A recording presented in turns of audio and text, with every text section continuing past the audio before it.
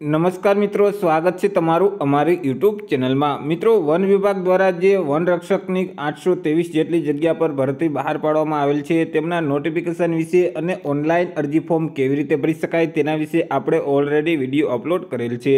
તેમાં ઘણા બધા મિત્રોની કોમેન્ટ છે કે બીજા જિલ્લામાં અરજી ફોર્મ ભરી શકાય અને બીજા જિલ્લામાં અરજી ફોર્મ ભરીએ તો પરીક્ષા કેન્દ્ર ક્યુ આવશે, જિલ્લા મુજબ કુલ કેટલી જગ્યા છે તે તમામ માહિતી મિત્રો આજના વિડીયોમાં મેળવશું. વિડીયોની શરૂઆત કરીએ તે પહેલાં વીડિયો ગમે તો લાઇક અને શેર કરી દેજો. ચેનલમાં નવા હોય તો ચેનલને સબસ્ક્રાઇબ કરી દેજો.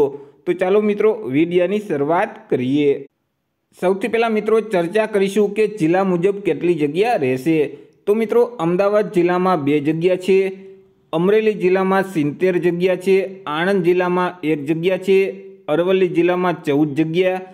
કચ્છ જિલ્લામાં છત્રીસ જગ્યા છે, ખેડા જિલ્લામાં એક જગ્યા, ગાંધીનગર જિલ્લામાં બે જગ્યા છે. ગીર સોમનાથ જિલ્લામાં દસ જગ્યા, છોટા ઉદયપુર જિલ્લામાં સુડતાલીસ જગ્યા, જામનગર જિલ્લા માટે નવ જગ્યા, જૂનાગઢ જિલ્લા માટે એકસો છેતાલીસ જગ્યા છે. ડાંગ જિલ્લા માટે તેતાલીસ જગ્યા, તાપી જિલ્લા માટે છપ્પન જગ્યા, દાહોદ જિલ્લા માટે અડતાલીસ જગ્યા છે.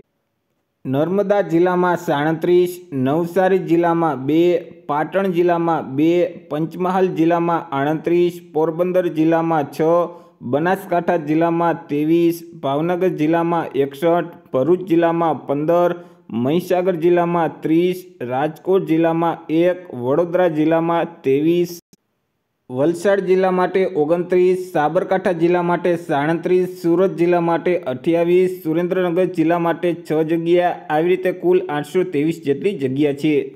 આગળ ચર્ચા કરીશું અરજી ફોર્મ વિશે. બીજા જિલ્લામાં રહેતા હોય તો શું અરજી ફોર્મ ભરી શકાય? તો મિત્રો, તમે અરજી ફોર્મ ભરી શકો છો. અહીં આપણે જે જિલ્લામાં જગ્યા જોઈ તેમાંથી તમે કોઈ પણ એક જિલ્લામાં અરજી ફોર્મ ભરી શકો છો. માની લ્યો કે તમે જામનગર જિલ્લાના રહેવાસી છો, પરંતુ જામનગરમાં નવ જગ્યા છે અને જૂનાગઢમાં એકસો છેતાલીસ જગ્યા છે. જેથી તમારે જૂનાગઢમાં અરજી ફોર્મ ભરવું હોય તો તમે ભરી શકો છો. પરંતુ કોઈ પણ એક જિલ્લા માટે તમે અરજી ફોર્મ ભરી શકશો અને જે જિલ્લામાં અરજી ફોર્મ ભરેલ હશે, તે જિલ્લામાં જ તમને પોસ્ટિંગ મળવાપાત્ર થશે.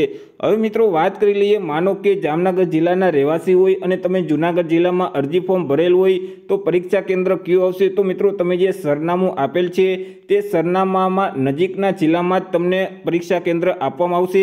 એટલે મિત્રો, જામનગર જિલ્લામાં જ પરીક્ષા કેન્દ્ર તમને મળશે, પરંતુ પોસ્ટિંગ છે તે જૂનાગઢ જિલ્લામાં થશે.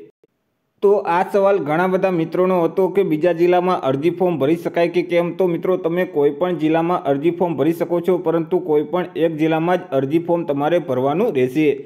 આશા રાખું છું વીડિયો પસંદ પડ્યો હશે. વીડિયો પસંદ પડ્યો હોય તો લાઇક અને શેર કરી દેજો. ચેનલમાં નવા હોય તો ચેનલને સબસ્ક્રાઇબ કરી દેજો. ફરી મળીશું એક નવા ટોપિક સાથે, એક નવા જ વિડીયોમાં. ત્યાં સુધી જય હિન્દ, વંદે માતરમ.